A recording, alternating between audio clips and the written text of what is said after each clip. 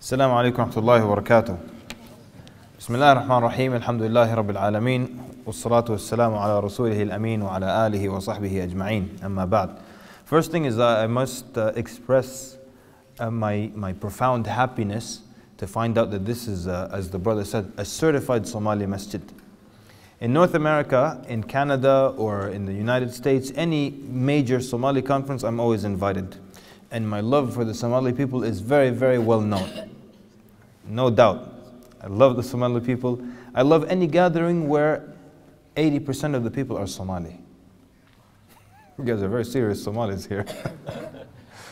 and yani, my, the, the way I describe Somalis, I say they are the greatest people on earth, right after the Sudanese people. Okay, that didn't work either, huh? So you guys, you know, look again. One more. I have to say this every lecture. I've been here now four weeks, and I have one more week to go, inshallah. And you British people are so serious. La ilaha illallah. You tell a joke, everyone's like this. So relax, yeah? We'll be friends for this lecture.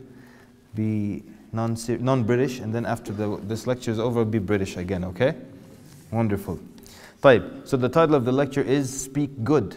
And it's a wonderful title because it's taken from the hadith of our Nabi sallallahu alayhi wasallam, where he said, من كان يؤمن بالله واليوم الآخر فليقل خيرا أو ليصمت. Whoever believes in Allah and the last day, then he should say that which is good or keep quiet. Say that which is good or keep quiet. And this is such a fantastic hadith. And if we could just implement this hadith, you know, most people now they have to say something. And it's praise to like just, yani, oh, he, speak your mind. Is there something wonderful that comes out of your mind, or is just some, some rude comment or rude statement or something like that? So that means then we're going to be talking about the tongue. And talking about the tongue is a very important subject because the tongue itself, the description of the tongue, is that it is a small and dangerous instrument. You guys with me? The tongue is a small and dangerous instrument. And it's an instrument, I mean, it's a muscle really, isn't it? The, the tongue, it's a small muscle, it's very small, but it never ever gets tired, true or false? You guys better pay attention. Hey, you guys in the front here, pay attention. Uriya, ilahi kabso. Alright? So, I told you I love Somalis, man. So, the tongue is a small and dangerous instrument. What is so dangerous about it is that it never gets tired, ever. And you know, sometimes you like you eat a lot, you keep swallowing, you know, so your throat hurts or something. Your jaw is hurt from chewing. You talk a lot, maybe your jaw hurt, but your, your tongue never hurts. Anyone in here ever experienced where the tongue hurt? Yeah, like your tongue is tired from speaking too much? Never happens. Isn't that amazing? It's a muscle that just doesn't get tired. As you're speaking, it's flying up and down and going left and right and up and down, and you never, never get tired. So this is now, we have a recipe for disaster. You want to hear a recipe for disaster? Number one, the tongue doesn't get tired. Number two, few people are able to restrain it. Few people are able to keep it back, to hold their tongue. And number three, it is one of the most dangerous things, one of the most dangerous tools. And Nabi Sallallahu explained in one hadith on the day of judgment, the whole body will be angered at the tongue. You put us in this trouble. You put us in this problem. It's the tongue. Abu Hurairah radiallahu anhu, he said, I asked the Prophet sallallahu alaihi wasallam of the two things that will most take people to the hellfire. Yani, the people who go to the hellfire, what is the main reason they go to the hellfire?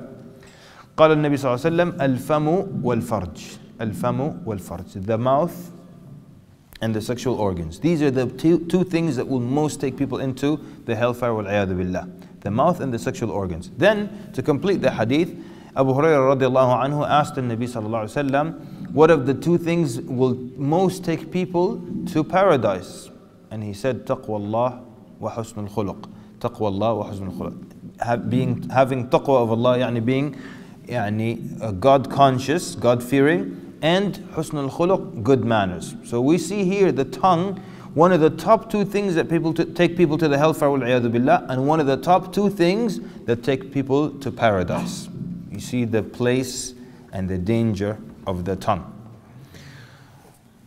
Uh, the Prophet ﷺ said, Whoever guarantees for me what is between his lips, what is that? What's between your lips? Meaning the tongue.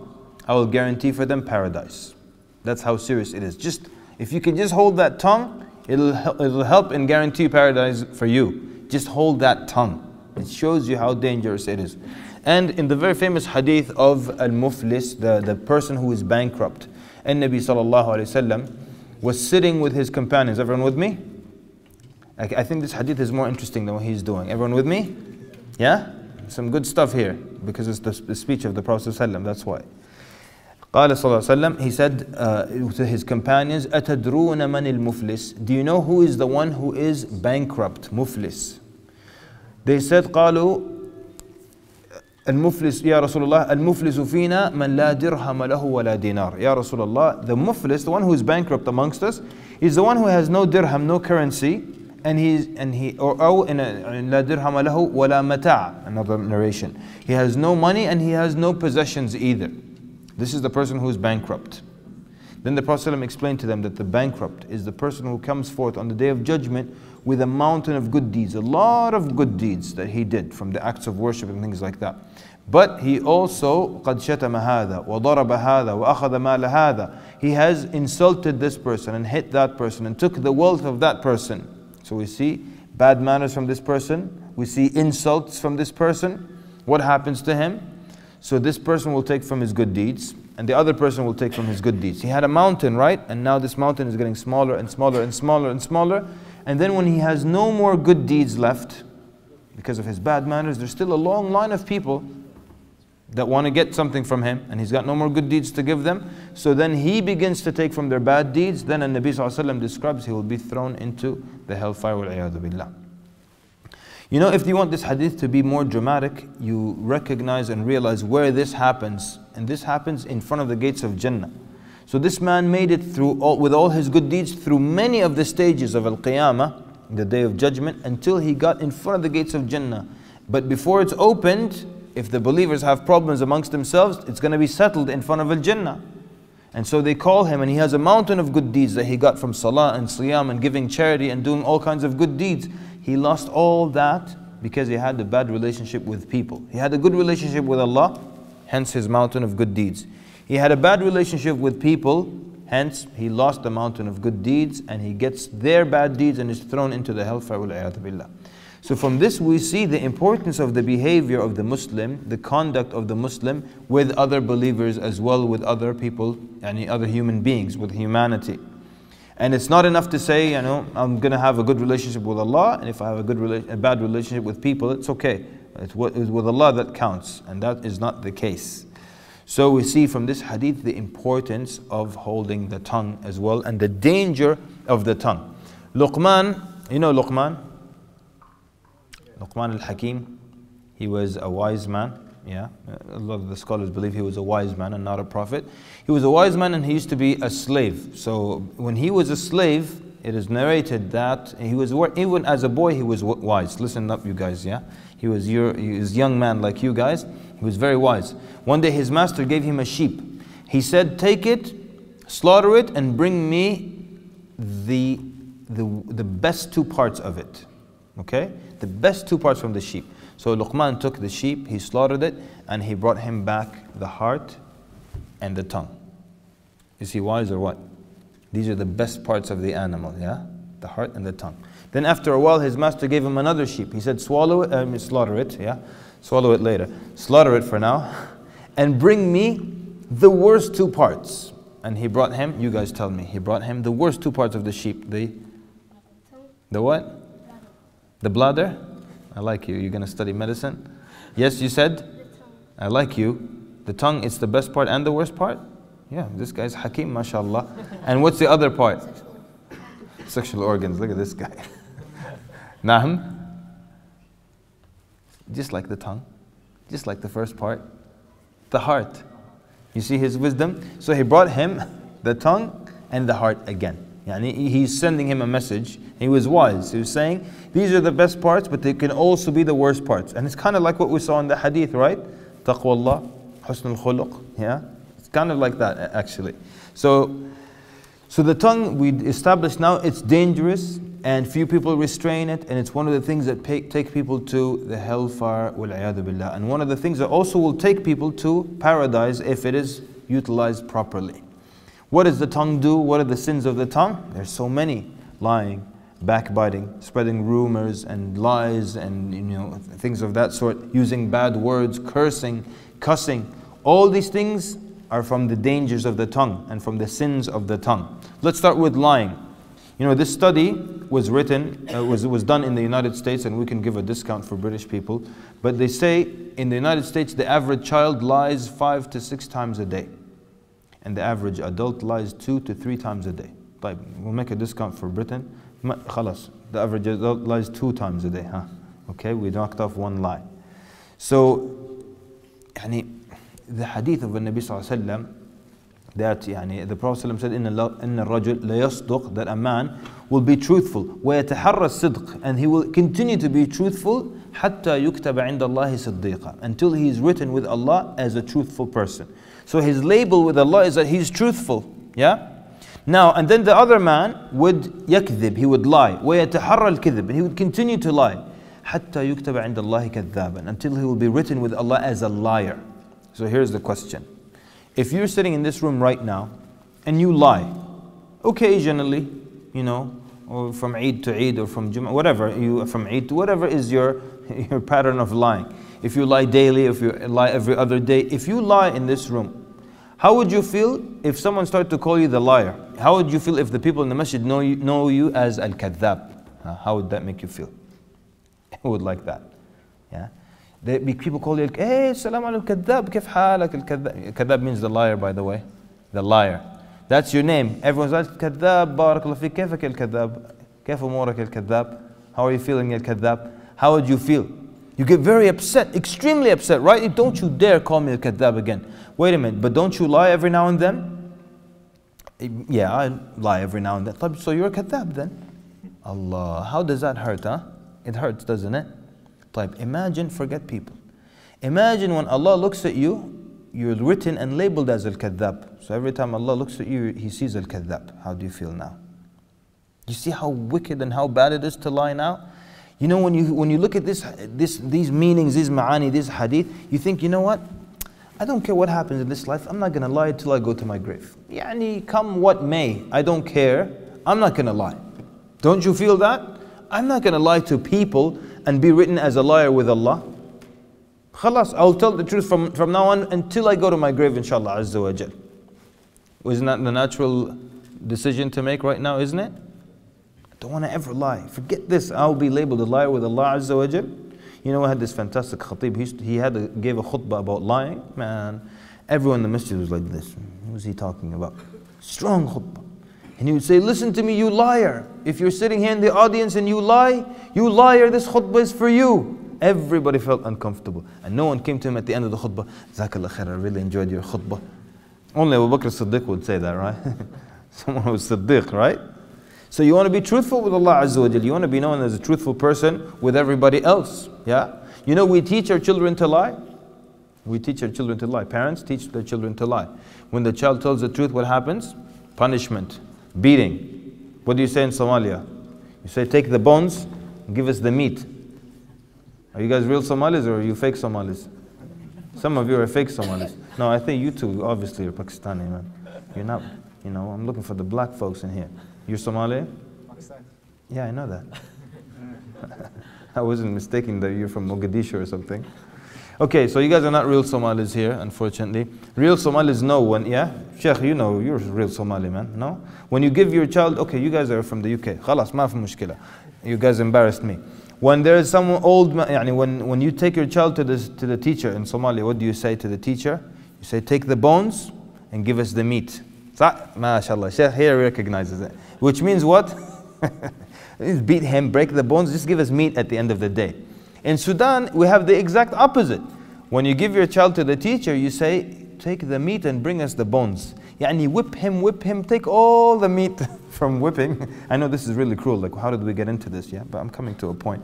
So take all, whip him and just give us bones at the end of the day. Al-Muhim. So we now we have now whipping and we have bone breaking. Al-Muhim. The point is, how did I get into that? What was I saying? Yeah, we teach the children to lie, sah? So you, the child tells the truth, what, is, what happens? He gets a beating. He gets punishment. Bones, destroy the bones if he tells the truth. If he lies, what happens? You let him go. So what does he learn? He learns that it's good to lie. You get saved if you lie. And if you tell the truth, you get in trouble. Is that a good lesson? It's a horrendous lesson. It's a very bad lesson. That's why for the parents in the audience, we say, look, if your child lies, punish them. And if they don't lie, if you tell the truth, even if they burnt the house, if they tell you the truth, don't punish them. Yeah? This is the best thing to do. Because then they don't associate punishment with telling the truth. Then they start to lie. So we teach our children to lie. And we make excuses for lying and we color lies. Do you color lies in the UK? You have white lies also? Yeah? Okay. So we have white lies, we have all kinds of colored lies and Eid lies and Jum'ah lies and Sabbath lies and Ahad lies.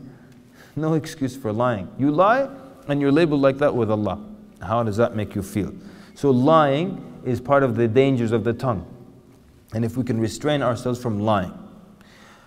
Likewise, there is backbiting. And backbiting, mashallah, people have excuses for backbiting. Yeah. I mean, these are some of the excuses for backbiting. I can say this to his face. طب go say it to his face. Why are you saying it behind his back then? You think يعني, the fact that I'm able to say it to his face makes it not backbiting? La, it's backbiting. Or some other brothers, they're more talented. They start speaking about a brother and then like they don't know. By the way, is this backbiting? Yani if it's backbiting, I'll stop. What do you think it is? Do you see him here?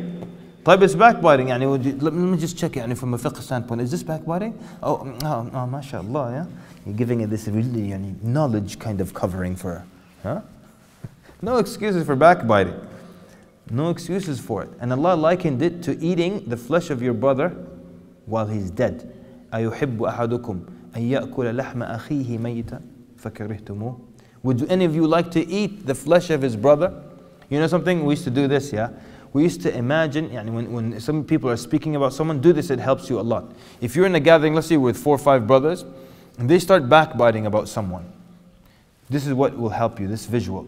Imagine that brother that they're backbiting about, imagine him on the table in front of you, or on the floor, cold and dead and pale in color, gray in color, his skin is no, has no color. And now each one of you take a piece of his meat, cut it like this, and you MashaAllah, this brother very flexible. Mm, this brother, wallahi, akhi, juicy. Imagine that. How does that visual fit? Horrible, right? One of the, one of the scholars, he invited some people for his house for, for, for food. So he, he brought the, he brought out yani, some of the, the bread and now he's going to go get the meat. So they start backbiting on someone. So he wants to tell them indirectly, stop backbiting. He said, subhanAllah, people before you used to eat the bread before the meat. But you guys are starting with the meat. You understand? You know what that means? You're already eating the flesh of your brother. we didn't even start. The bread didn't even come. You start with meat immediately. Yeah? Kind of like how we are now. now, I mean, like really, when there's a meal, we start with the meat, don't we? Yeah? Did someone die before I just came here or what? yeah? You had the janazah prayer? UK, Allahu Akbar, MashaAllah. Serious people. Oh, yes, yes. Uh, mm-hmm. Mm, yes, yes. Huh? Yeah, that's your excuse, huh? Take the deen seriously. We don't smile. We don't follow that sunnah. Some people, they think it's religious to not smile. So one time I, I saw this brother, I was at some airport, I don't know where in the world. I wanted to give salam to some Muslim, right? So I see this guy, Ghutra, Thob. I said, let me give this guy salam. When I came to the front, I saw his face, and he's standing alone. There's nothing there. There was a frown on his face. You couldn't put one on with, with power, eh, what do they call that thing? Photoshop. You couldn't Photoshop a frown like that. He was like this. His whole face was here in this place. Ya how do you stand and stare at nothing so angry? Yani, what could have happened? Yani? I saw that, I was like, yeah, I don't need to, I should have given him salam. But I just like, you know what, I don't need this. I'm in a good mood. I don't need someone to ruin my mood like this. Why are you standing and frowning at nothing, ya? People think it's a good religious brother, keep a good frown on your face. Salam alaikum, brother. Salaam alaikum. Alhamdulillah. MashaAllah, wonderful, wonderful. You know, um, uh, a man came to Sufyan al-Thawri, the great scholar Sufyan al-Thawri, and he said, I have never seen Abu Hanifa, rahimahullah, I've never seen Imam Abu Hanifa backbite anyone. So Sufyan al-Thawri said, نعم, Abu Hanifa أعقل من أن يسلط على حسناته من يذهب بها. Yani he said, Abu Hanifa is too intelligent to let someone go away or to yani, go away with his good deeds. What does it mean? It means that you backbite people, they take it from your good deeds on the day of judgment. Yeah? And this is the this you want you want a good helpful tip? Especially if you hate someone, don't backbite them. True or false? Especially if you hate someone and he did some dirty, nasty things, don't backbite them. Why? He takes your good deeds. Like this, okay, imagine this guy, you hate him, he's really nasty person. So then he comes and he says, Give me your, your iPad, for example, and you give him your iPad. Would you give him your iPad? No. Would you give him your, your, your laptop? Your, let's not in, in, insult the Samsung people. Your Samsung Galaxy مش عارف notebook ومش عارف all that stuff? You wouldn't. Would you give him your, the best and most valuable thing to you, your good deeds? You shouldn't, right? But this is what people do now. So you backbite someone you don't like, you're giving them your good deeds, right? And that's the thing that's most beloved to you. So only backbite people you love a lot. They give them your good deeds. No, don't backbite anybody. A man, uh, Sufyan al-Thawri, again, rahimahullah, the great scholar, someone came to him and he said, these people are talking bad about you. Now, this is something great that he did. Do this next time you hear someone's talking bad about you. Sufyan al-Thawri sent them a bowl of dates, yani a bunch of dates, with a note or a message, yani, that said, it had come to my attention that you have assigned to me, and you have given me some of your good deeds. I couldn't find anything with which to thank you besides this bowl of dates, so please accept it from me. Okay, I'm going to say it again, pretend you're moved. Okay? Eh, this is deep stuff. I'm going to say it one more time, just make sounds like you're moved, okay? So he sent them a bowl of dates with a note that said, it, have, it has come to my attention that you have given me some of your good deeds. I couldn't find anything to thank you with except for this bowl of good dates, so please accept it from me. Thank you very much. Thank you. That's, that's more like it. Excellent. You see what he's doing? Then try it now. Next time someone is bad mouthing you and stuff, just send them some candy and a note. And thank you very much, you know. Or send them candy and text them. You guys look, text them. Text them. Thank you very much for. Uh, I heard you gave me some of your good deeds. Please accept this candy bar from me. Try that. See if they ever bad mouth you again. You know? what are they going to do? They're going to come and thank you. Thanks for the candy bar. There's nothing you can say now. Khalas. You destroyed this guy, right? Backbiting. Mm, mm, mm. Bad words. Shabab. Bad words. People think it's cool now. They think it's a good thing to use bad words. You know something? Forget the shabab. You run into people supposedly quote unquote religious. You know, you go out for tea or coffee or something like that. This guy starts dropping bad words, ya What happened to excuse me hatta? Not even excuse me. Yeah, it means, that means what? When someone is using bad words, they're not even saying, oh, excuse me. And it's so common for them. So many times you're around people, religious, and they're dropping bad words left and right. Tabi what is this? Eh, what happened to excuse me? It tells you how common it is in people's life. How common it is. People constantly using bad words. And I've said this before that the angels, Allah described them as kiraman katibin. These honored creatures of Allah, right here. Honored creatures of Allah, and they record what you say. And you use bad words and they record it. You're making these honored creatures write down bad words, profanity. You use a bad word, they write it again. Bad word, they write it again. And then on the day of judgment, you get your book where they write everything, and you see chapter and page and page after page after page of bad words. Page after page of bad words. If you think it's cool now to use bad words, you won't think it's cool when it comes on the day of judgment because you know the angels are writing everything.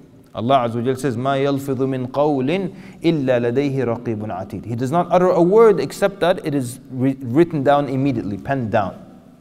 So bad words, cursing.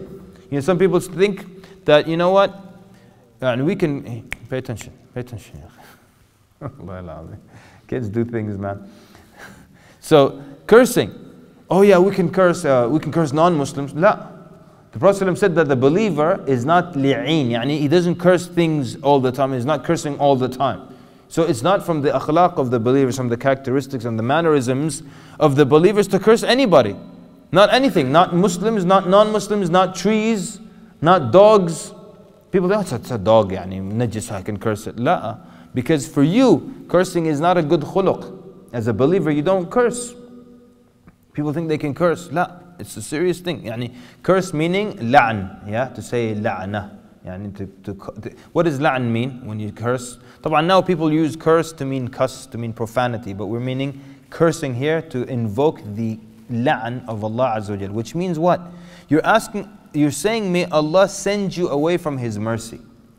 Okay, if we think about this dua against someone, would, would you want to say this to anyone? First of all, would you ever want to say this to a Muslim? may Allah send you away from His mercy. Would you say this to a Muslim? Taib, imagine, okay, it's a kafir in the street and uh, whatever, you have the traffic thing or he just, you know, didn't open the door for and you say, ah, May Allah curse this man. You're saying, may Allah send you away from His mercy. Taib, and would you rather that or would you rather this person be guided to Islam, for example? If this person caught on fire in front of you, would you, would you just laugh and walk away? طيب, you're just asking, you're asking Allah to put him in the hellfire. And muhim, cursing, bad words, all these things, not from the akhlaq of the believers. And be, even being rude to people.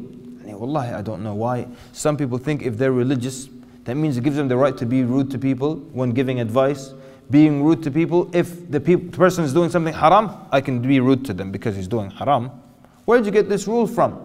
Not you, yani, generally, where did you get this rule from? A man came to Harun al-Rashid. Harun al-Rashid was the, one of the khulafa and he was he was uh, yani very studious and he was well read, you know, was into reading and stuff. He was like knowledgeable Khalifa, not, unlike others like Mutawakkil, for example, just a soldier, you know, yani, and others.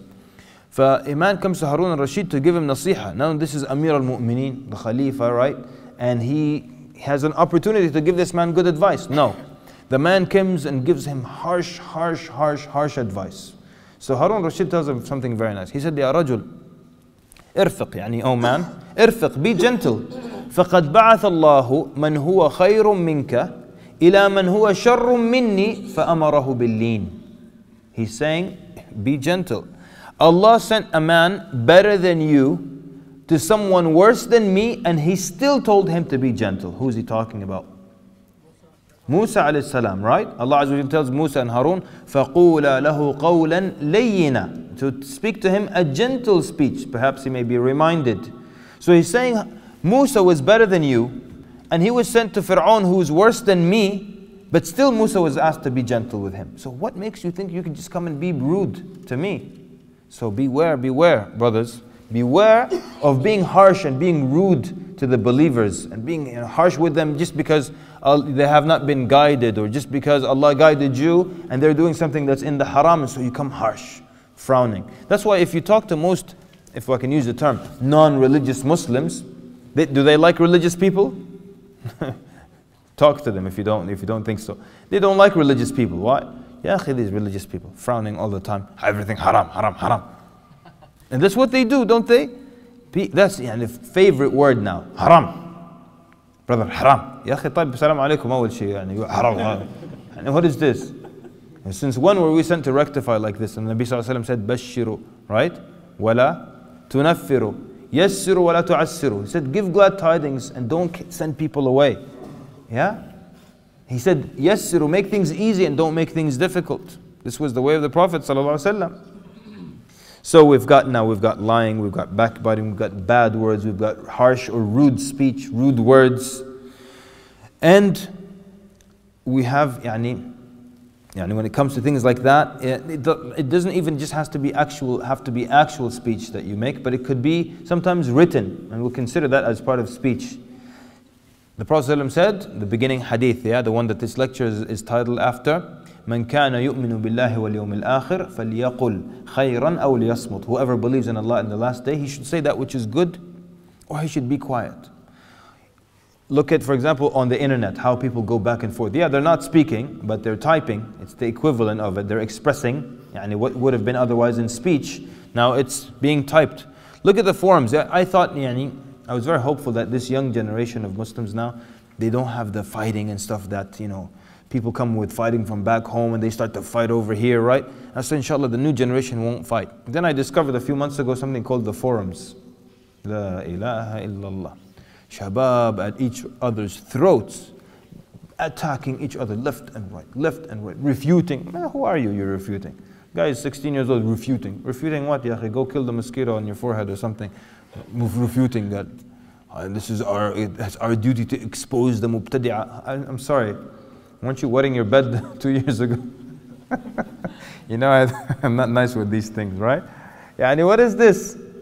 And who told you this is your job? You know something? People take things out of, all out of context. One time, this is a true, this is a narration about Ibn Umar radiallahu anhuma.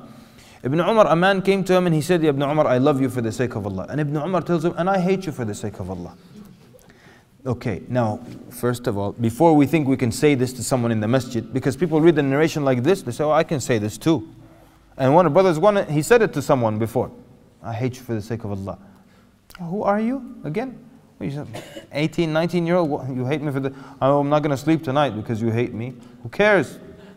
This is the difference between you saying it and Ibn Umar, when Ibn Umar anhuma, he was now an old man, one of the few companions alive, because now in the later generations, few companions are alive. And they are the ulama, he's the alim, and an old man, and the companion. You see how people respect him now, right? So if he wanted to reprimand someone severely, he could say something harsh, and because he's an old man and a scholar and a companion, people would see it as an admonition for everyone else, as a warning for everyone else. That's all. So if Ibn Umar tells someone, you know, I hate you for the sake of Allah because you did some bid'ah, everyone now is aware, oh, I shouldn't do this bid'ah. Because Ibn Umar said a strong word, so it becomes a warning for everyone, an admonition that travels. But some young guy comes in the masjid, Ya enter the masjid with your left, with your right, uh-huh, I hate you for the sake of Allah. Who are you exactly? Yeah? Harshness, harshness, harshness. It's nothing to do with being religious whatsoever Being rude, being harsh has nothing to do with being religious. And Nabi Sallallahu was told by Allah subhanahu wa ta'ala in the Quran, وَلَوْ كُنْتَ فَضًّا غَلِيظَ الْقَلْبِ لَنْفَضُّوا مِنْ حَوْلِكَ And if you were with them, harsh and crude, hard-hearted with them, they would have scattered from around you. These great companions, these are, they had the best hearts. The hearts that would most accept a good message, and the best message is the Quran. But we learn from this verse that if the best message, the Quran, came to the best hearts with bad manners and bad presentation, these best hearts wouldn't accept it. That's really profound, isn't it? Yes? No? Five, thank you. Two guys, okay. So, we're to speak good, part, it's part of who we are, right? We're to speak well and, and use good speech, even if it's with a non-Muslim, even if it's with someone who is aggressive, someone who is aggressive. Yeah, Allah Subhanahu wa Taala describes Ibadur Rahman in the Quran, the servants, uh, the, the slaves of Ar-Rahman, and He says, وَإِذَا خَاطَبَهُمُ الْجَاهِلُونَ قَالُوا سَلَامًا And if the ignorant address them, طبعا address them in a harsh way, in an aggressive way, their response is salama, with words of peace, and peaceful words. They give them back good words. They don't give them equal, which is what people think now. Wallahi, he was rude to me, so I was rude to him. La. Or he said bad word to me, so I gave him bad words to him. And I mentioned his mother also. Yeah? La. Because what, because what happens is that uh, the way human beings communicate is they always emulate the way the other person speaks. So, for example, if someone comes to you and they start whispering, what will you do? You start whispering. If in the masjid someone tells you, Salam alaikum, brother, you will say, Yes, wa alaikum salam. Immediately you start to whisper. And if someone comes to you and starts yelling, Shabab, pay attention. If someone comes to you and starts yelling, you're going to start yelling immediately. Yeah? Because people reciprocate. But if we know that people reciprocate, why should I allow that person to bring me down to a bad level of speaking? Why don't I speak at a good level and he will reciprocate? You understand? Yeah, and if someone comes yelling at you, you don't have to yell back. You start speaking calmly, and guess what will happen?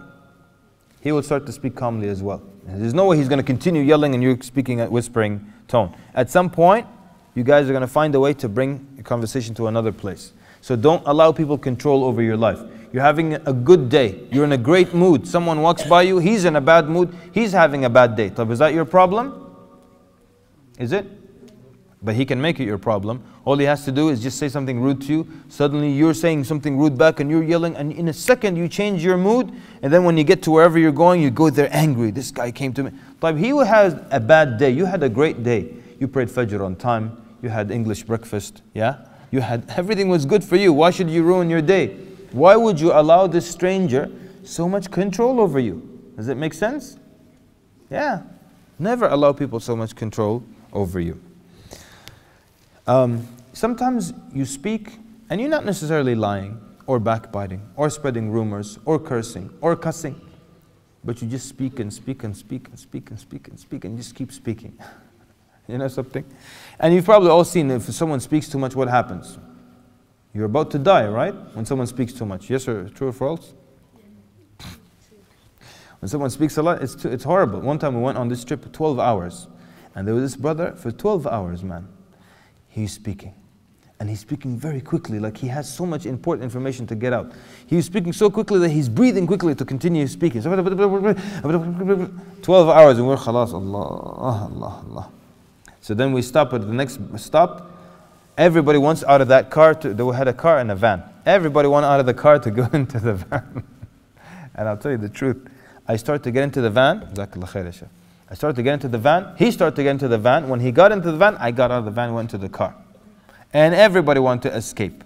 And that's why, that's why Amr ibn al-As, the companion of anhu, he used to say, Al-kalamu kaddawa. Speaking, okay, talking is like medicine. In aqlalta minhu nafa' wa in minhu qatal.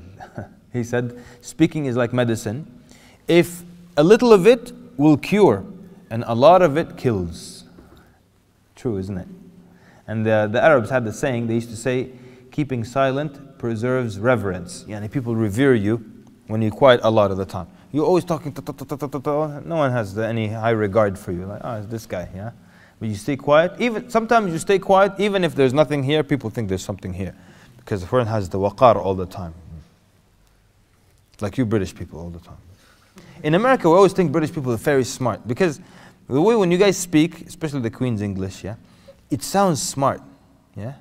it sounds very smart. Anyways, let's pass on. You guys, we can't joke with each other, huh? We're not friends like that? Somalia's always my friends. What happened this time? Pakistanis were brothers anyways, right? Am I right? I mean, Pakistani origin. You guys aren't really Pakistani. You're, you're all British, but, but originally, yani, we're buddies, right? Okay, khalas. You know, you know, I lived in Islamabad five years, and yeah, man. Best city in Pakistan, Islamabad. All right, anyways, let's move on since you guys are so serious. Yeah. But you know something, yeah, you stay quiet, people immediately revere you. Yani they say this person, mashallah, muhtaram, respectable guy. you know, I think you all know that story at the time of Imam, Ibn, uh, Imam Abu Hanifa, rahimahullah, when he used to see this man and the man would dress well and he'd be quiet, so he thought this man, mashallah, here is full so Imam Abu Hanifa used to respect this man. Every time this man came to the gathering, he would bring his feet in, he would sit properly. He wanted to extend his feet and relax, but he sees this respectable man, he would bring it in. Then one day the man spoke. he made the mistake and he spoke. So he comes to Imam Abu Hanifa and he asked him about fasting. He said, Ya Imam, when do we fast? He said, Well, you start fasting when the sun comes up and you break the fast when the sun goes down. So then he asked his next question. He said, What if the sun doesn't come up? so Immediately the Imam stretched out his legs. He said, now it's time for Imam Abu Hanifa to stretch his legs. For Abu Hanifa to put out his legs. Khalas yani. But when he was quiet, he was respectable. Oh, well, the minute, the minute he spoke, he's like, what is this? Yeah? And you know people love to ask Mashaykh these strange questions. strange questions. Like one of the, one of the Mashaykh was asked, if I get, Ya Shaykh, if I get a big tray and I put all kinds of human excrement in it, and gather it full of human excrement, urine and this and that. Huh? And then I carry this tray from here to there and I put it down. Will that negate my wudu? The Shaykh told him, gather all this stuff on the tray, then come ask me the question. I'll give you an answer, inshallah. hey, when are you ever going to encounter something like that? You know? Keeping the tongue, subhanallah. So we're talking about typing, yeah? We didn't even finish that part forums, people fighting left and right, calling each other mubtadi'een, all this, no manners, no akhlaq, no adab, and they think this is for the sake of Allah. Who made you the, the policeman? Yani the, the, the taqwa police. Who made you taqwa police? Yeah? People bad mouthing constantly. You know, even on YouTube now, people watch a video and just immediately start attacking and insulting. The video can be about akhlaq, and down underneath it, people fighting. People can be a, a video about peace, and Muslims are fighting underneath it. You mubtadi', you are like that. ridiculous. Absolutely ridiculous. And you think, mashallah, these people have standards. One time, I watched, and this was actually a, a Somali young man about your age, you guys. This Was, we were at a conference, and I told you I go to all Somali conferences, man. Usually we're friends, me and Somalis. I don't know what's happening here, Mr. Tawfiq. Usually we're good friends, right? Al-Muhim, so this young Somali man about your age, he came up and he recited some Quran before the conference, yani before the lecture started. He recited some Quran, he had a nice voice, mashallah. And he made a small mistake. He was like, what, 9 or 10. He made a small mistake. And they put the video up on YouTube. And this brother commented some severe comment. Everyone else, mashallah, a nice voice. One guy said, This is not acceptable. This boy made a mistake. And it's not acceptable to put a video like this of the Quran with a mistake in it, and you should take this video down immediately. And I said, Man, this man must have some strict, strict, strict standards. So I clicked on his name. I thought maybe he's got some channel, you know, learn something from this guy. You know, when you go on YouTube now, you click on someone's name, it shows you the last videos they watched and the comments they put. When I saw the video he was watching, the last one, I was like, La ilaha illallah. I'm even ashamed to describe it. There was some Latino woman dancing in very bad clothing, and he is putting comments, muchos buenos. I don't know, I don't, I don't speak Spanish, yani, but I was like, look at this guy. You know, you know what I call that? I call it E-man. You know what I'm talking about? E as in electronic, like email. This is E-man. I like that name. I'm proud of that. I made that up myself. Okay, how about this? I'm going to stop, yeah? I'm going to stop, and then uh, you let me know. What, what happened to the timekeeper, man? Keep on, keep on, فوضى here. نعم? Yeah, five minutes, but خلاص, I'm out of stuff, yeah. You want me to keep making stuff up or what? So I'm going to stop and, and uh, allow some of the mashayikh if they want to comment, and if the youth also have questions. So جزاكم khairan for being an attentive audience. صلى الله وبارك على محمد وعلى آله وصحبه أجمعين والسلام عليكم ورحمة الله وبركاته.